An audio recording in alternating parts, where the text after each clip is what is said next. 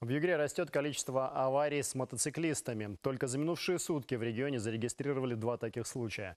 В Нижневартовске водитель ВАЗа не предоставила преимущество в движении Ямахи. Байкер получил травмы. Еще одна авария произошла в Сургуте. Здесь водитель Кавасаки не справился с управлением, опрокинул мотоцикл и врезался в автобус. Байкера доставили в медучреждение. Всего за сутки на дорогах Югры зарегистрировали 7 ДТП, в которых 7 человек получили травмы, в том числе один несовершеннолетний велосипедист. Госавтоинспекторы задержали 7 пьяных водителей. Двое отказались от экспертизы. Еще два человека повторно сели за руль под шофе. За выезд на полосу встречного движения к ответственности привлекли 49 водителей, 58 привлекли за нарушение правил перевозки детей.